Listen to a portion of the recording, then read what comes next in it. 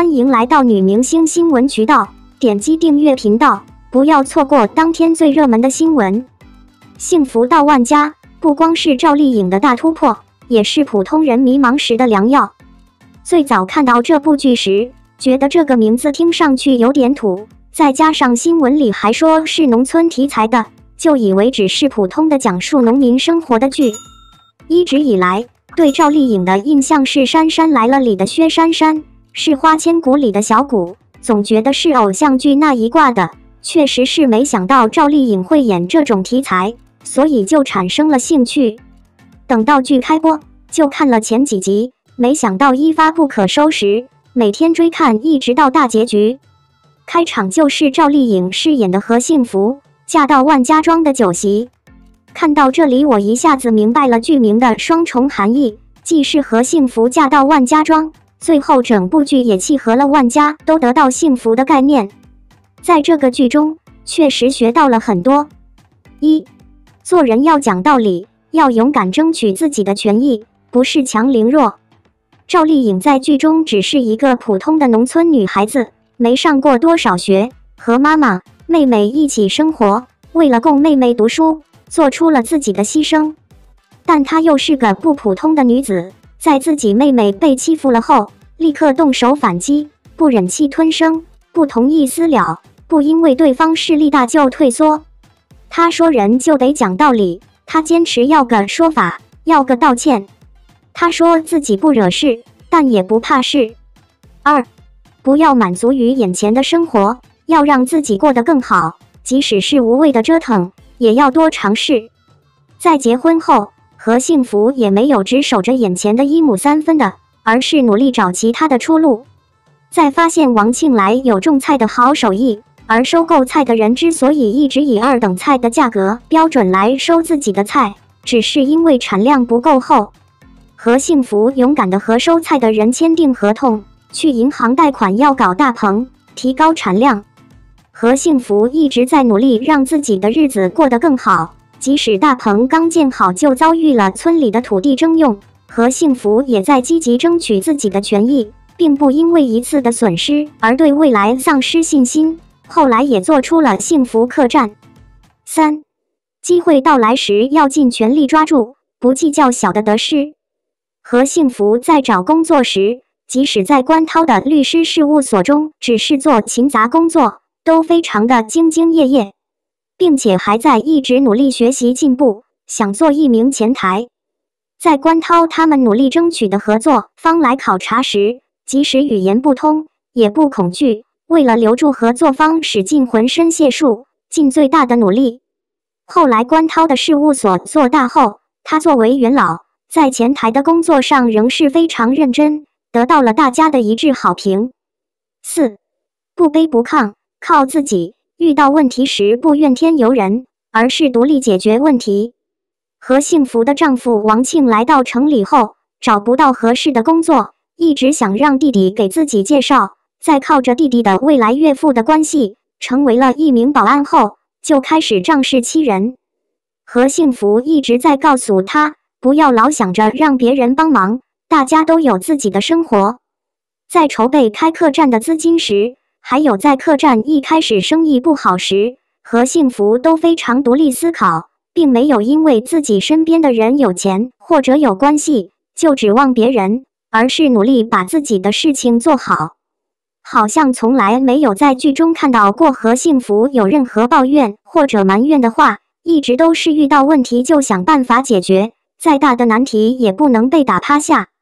在看剧的过程中，其实会让人思考。如果自己也遇到和幸福的一些困难，会这么努力想办法吗？还是会直接躺平，摆烂着过就好了？当然，因为是戏剧创作，作为女主角的何幸福，她的很多问题最终都会得到解决。但我们不能只看到解决后的喜悦，也要思考如何做到这一切。虽然年轻人都在说着迷茫，但其实我们中的很多人比何幸福的原始条件好很多。不要继续迷茫的上网寻求答案了，直接动手做起来吧！只要开始做，就比只是想要强。赵丽颖拼命三娘的称号真的不是白来的。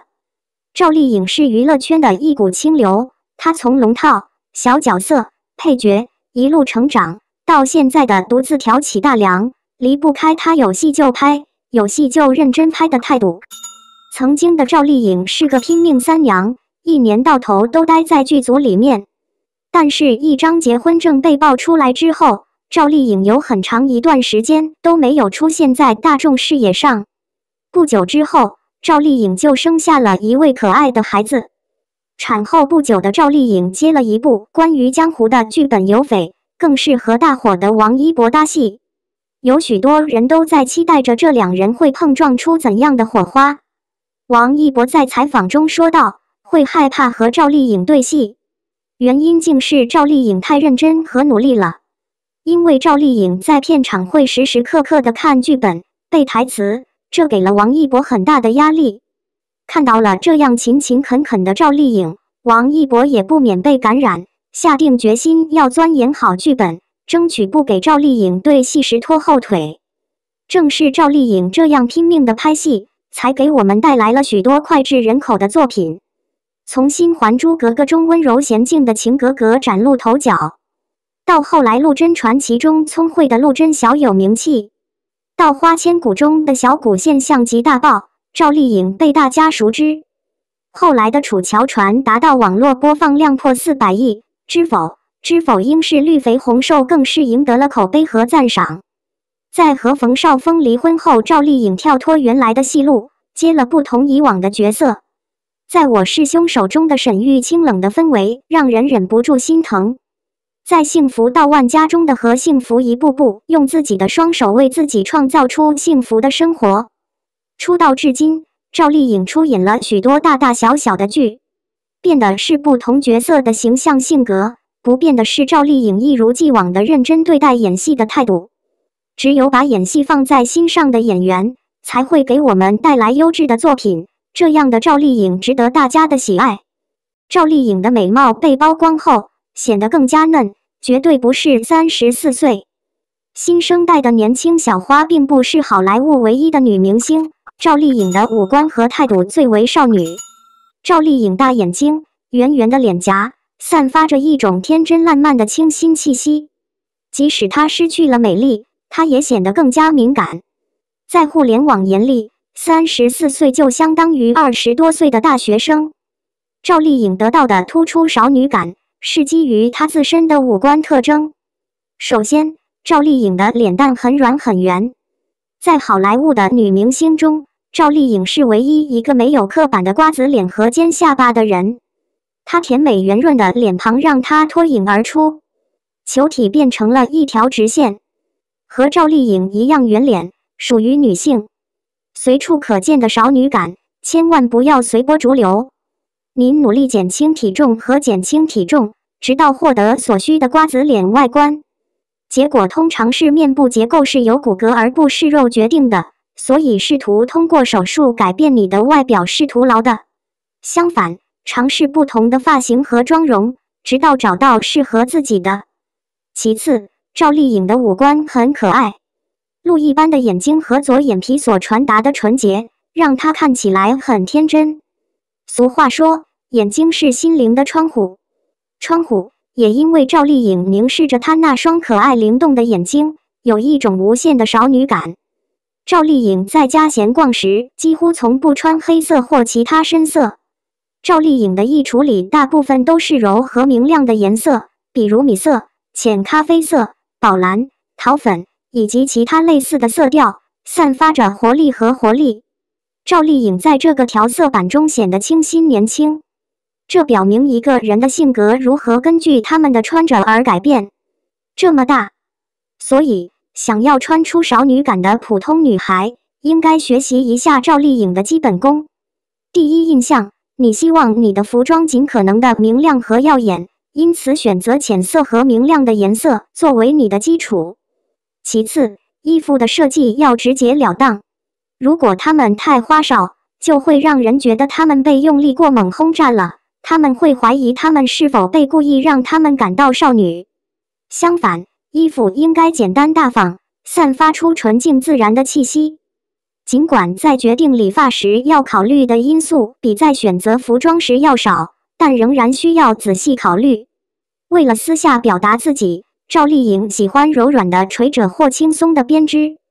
复杂的发型，如辫子或多个马尾辫，都超出了她的技能水平。